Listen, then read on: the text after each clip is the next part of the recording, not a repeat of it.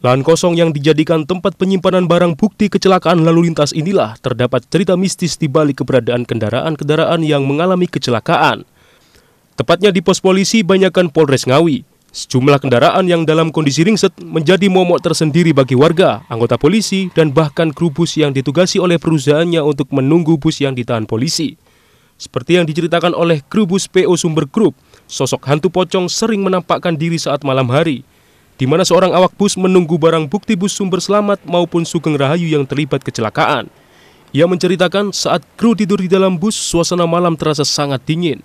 Saat kru bus bangun dan melihat ke bagian belakang tempat duduk penumpang, sesosok pocong berdiri tegak di bagian belakang tempat duduk bus.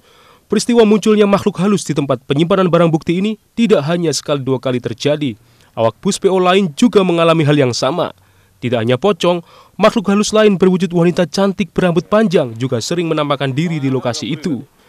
Sejak ramai jadi bahan perbincangan para awak bus, mereka enggan tidur malam di dalam bus saat menunggu barang bukti dan memilih untuk tidur di pos polisi yang berdekatan. Waktu pas tidur itu terasa, ya tidurnya terasa dingin, kok bangun. Nah, ternyata di pas waktu bangun itu kita lihat di belakang, loh kok ada itu, ada apa ya makhluk-makhluk uh, halus gitu seperti pocong apa lain-lainnya gitu loh. Ternyata setelah orang itu bangun terus kita bangun ternyata lari minta tolong di pos. Ya sama petugas dilihat. Ternyata itu nggak ada apa-apa. Dia tapi takut suruh kembali nggak berani. Itu nggak satu dua dua orang.